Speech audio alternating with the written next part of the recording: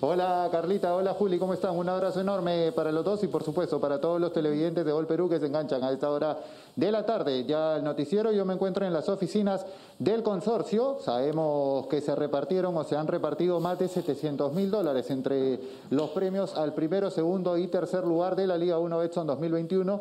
Y justamente estamos acá con la entrega simbólica, el cheque al Club Universitario de Deportes por ocupar el tercer lugar de la, de la tabla de esta temporada que le ha dado una clasificación a la primera fase de la Copa Libertadores de América. Estamos con el señor José Balta, gerente de Administración y Finanzas de Universitario de Deportes, la señora Juliana Herrera, administradora general del consorcio, y junto a ellos vamos a mostrar, por favor si me ayudan, el cheque que se le va a entregar al Club Universitario de Deportes. 118 mil dólares para el tercer lugar de la Liga 1 Betson 2021. Ustedes pueden apreciar ahí, es una entrega simbólica que se está realizando y estamos en vivo desde las oficinas del consorcio renovando el compromiso de esta institución con el fútbol peruano.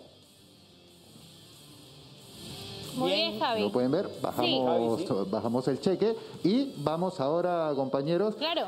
Me dan unos minutos a tener la palabra de los protagonistas en realidad de esta entrega. Conversamos primero, sí, con la señora Juliana Juliana Valverde, que es eh, administradora general del Consorcio del Fútbol Peruano. Juliana, ¿cómo le va? Bienvenida a Gol Perú, un gusto conversar con usted. Muchas gracias, buenas tardes, es un orgullo eh, y una satisfacción poder entregar este premio.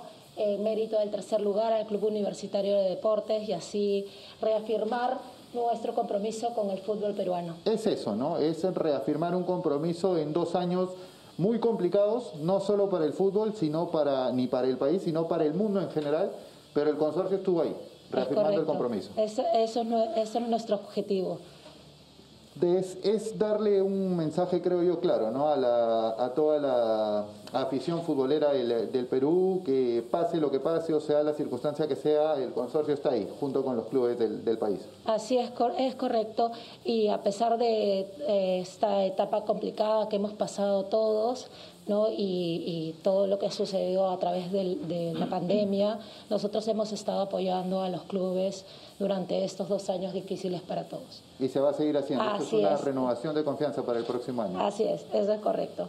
Listo. Está Juliana Valverde, administradora general del Consorcio del Fútbol Peruano, y estamos ahora con el señor José Balta, que es gerente de Administración y Finanzas de Universitario de Deportes. José, ¿cómo está? Bienvenido. ¿Cómo está? Buenas tardes. Un gusto conversar con usted. Eh, ¿Cuál es la primera impresión que, le viene a la mente después de recibir un premio, un premio como el, como el eh, que se le está otorgando? En primer lugar, agradecer al consorcio por la posibilidad de contar con estos fondos.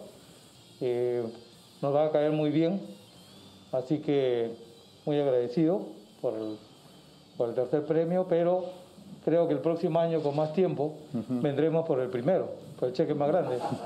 Yo lo puedo firmar ¿eh? desde ahora. Vamos a hacer todo lo posible para que eso sea. Es la idea, ¿no? Que la cuestión deportiva genere un ingreso mayor en, las finanzas.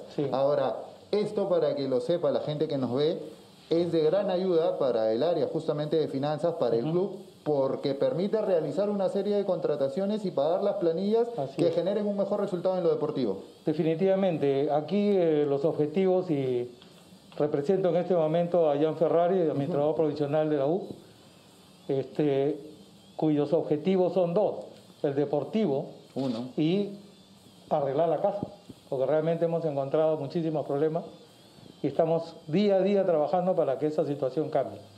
Entonces, en esas dos rutas que van en paralelo, el tema deportivo es significativamente importante.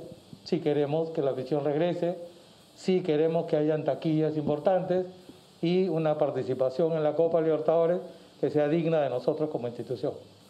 Creo que es, en eso estamos enfocados. Y no solo se arreglan esos problemas que han encontrado con dinero, pero ayuda muchísimo. Por supuesto. Ingresos como este, ¿no es cierto? Todo, todo dólar que entra a la caja es bienvenido. definitivamente, porque hay una serie de cosas a pagar, ha habido cosas que se han dejado de pagar y que las estamos regularizando, tema de SUNAT, etcétera, etcétera. ¿no? estamos trabajando. Es la mejor forma de incentivar a los clubes que el logro deportivo genere un ingreso, como lo está haciendo el consorcio ahora. Ese es el objetivo. Y, el próximo... agradezco pues al consorcio, ¿no? Y el próximo año lo reafirma. Están acá, pero por el primer Por, supuesto. Tendremos una final como la que ha habido ayer. Lo firmo desde ahora, porque la U es la U.